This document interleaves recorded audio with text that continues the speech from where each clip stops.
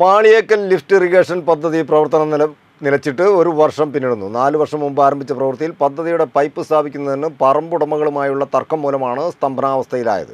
കൊടിയത്തൂർ കാരശ്ശേരി പഞ്ചായത്തുകളിൽ ഇരുന്നൂറ് ഹെക്ടറോളം നെൽവയലടക്കം പ്രദേശത്തെ കാർഷികാഭിവൃദ്ധിക്കും വെള്ളക്ഷാമം പരിഹരിക്കുന്നതിനുമുള്ള നാട്ടുകാരുടെ പ്രതീക്ഷയാണ് മാളികേക്കൽ ലിഫ്റ്റ് ഇറിഗേഷൻ പദ്ധതി.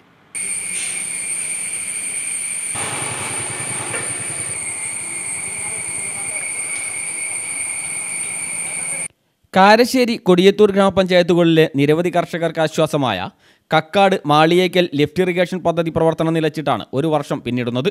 നാലു വർഷം മുമ്പ് ആരംഭിച്ച പ്രവൃത്തിയിൽ പദ്ധതിയുടെ പൈപ്പ് സ്ഥാപിക്കുന്നതിന് പറമ്പുടമകളുമായുള്ള തർക്കം മൂലമാണ് സ്തംഭനാവസ്ഥയിലായത്. തർക്കപരിഹാര നടപടികൾ എങ്ങും എത്തിയിട്ടില്ല. പുതിയ മാർഗത്തിലൂടെ പൈപ്പ് കൊണ്ടുപോകാൻ ആവുമോ എന്നാണ് ഇപ്പോൾ ശ്രമം നടക്കുന്നത്. ഇരുപത് ലക്ഷത്തിലേറെ രൂപ ഇതിനോടകം മുടക്കി പകുതിയോളം പ്രവർത്തികൾ കഴിഞ്ഞ പദ്ധതിയാണ് നിശ്ചലാവസ്ഥയിലായത്.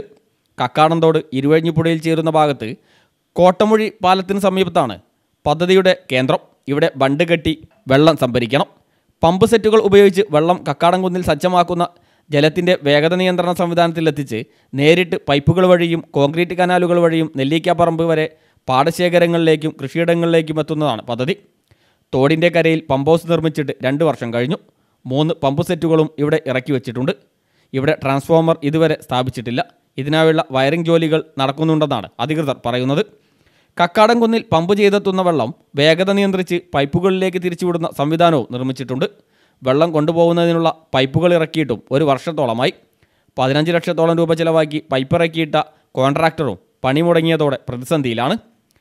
പ്രശ്നപരിഹാര ശ്രമങ്ങൾ ഒന്നും ഇതുവരെ ഫലം കണ്ടില്ല.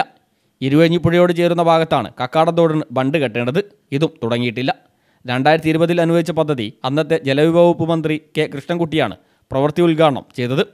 കൊടിയത്തൂർ കാരശ്ശേരി പഞ്ചായത്തുകളിൽ ഇരുന്നൂറ് ഹെക്ടറോളം നെൽവയലടക്കം പ്രദേശത്തെ കാർഷികാഭിവൃദ്ധിക്കും വെള്ളക്ഷാമം പരിഹരിക്കുന്നതിനും വെള്ളക്ഷാമം പരിഹരിക്കുന്നതിനുമുള്ള നാട്ടുകാരുടെ പ്രതീക്ഷയാണ് മാളിയേക്കൽ ലിഫ്റ്റ് ഇറിഗേഷൻ പദ്ധതി. പ്രദേശത്തിന്റെ ജലസ്രോതസ്സായ കക്കാടന്തോട് മണ്ണും മാലിന്യങ്ങളും അടിഞ്ഞ് നികന്നുപോയ നിലയിലാണ്. ഇതുമൂലം ഈ തോട് വഴി വെള്ളം എത്താതായി. ഇതോടെ കൃഷി നിലയ്ക്കുകയും പ്രദേശത്ത് കുടിവെള്ളക്ഷാമമടക്കം രൂക്ഷമാവുകയും ചെയ്തു. നാട്ടുകാരുടെ നിരന്തരമായ ആവശ്യത്തെ തുടർന്ന് മുൻ എം എൽ എ ആയിരുന്ന ജോർജൻ തോമസ് മുൻകൈയെടുത്ത് ചെറുകിട ജലസേചന വകുപ്പിൽ നിന്ന് ഒന്ന് ദശാംശം രണ്ട് അഞ്ച് കോടി രൂപയാണ് പദ്ധതിക്കായി അനുവദിച്ചത്. പി ഡബ്ല്യു ഡിയുടെ മെക്കാനിക്കൽ വിഭാഗവും ഇലക്ട്രിക്കൽ വിഭാഗവും ജലസേചന വകുപ്പും വൈദ്യുതി വകുപ്പും ഒത്തുചേർന്നാണ് നിർമ്മാണം നടത്തുന്നത്. ക്യാമറമാൻ രാജേഷ് കാരമുലയ്ക്കൊപ്പം സി ഫസൽ ബാബു സി പ്രാദേശിക വാർത്ത.